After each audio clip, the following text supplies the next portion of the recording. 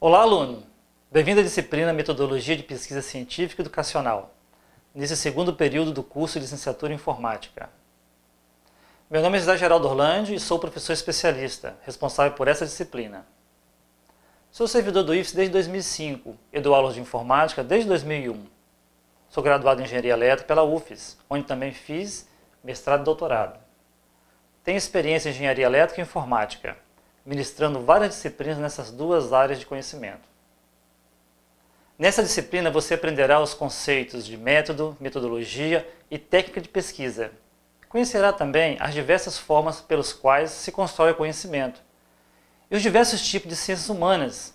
Você aprenderá, identificará e diferenciará as formas de estruturação, planejamento, execução, redação e formatação de um projeto de pesquisa científica quer seja uma pesquisa de campo, quer seja uma revisão bibliográfica. Nessa disciplina, você também conhecerá as formas de estudo que permitirão a organização, compilação e sistematização de dados obtidos de referências bibliográficas e dados de campo.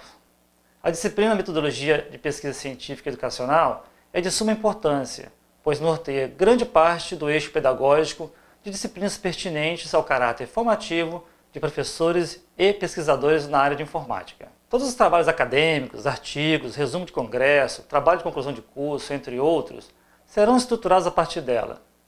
Assim, para se obter o sucesso garantido, é necessário estudar o material, realizando leitura dinâmica e interpretativa, além de fazer as atividades do ambiente Moodle e aquelas previstas no fascículo, em prazo hábil. Organize seu tempo e não deixe as atividades se acumularem. Desejo-lhe todo o sucesso.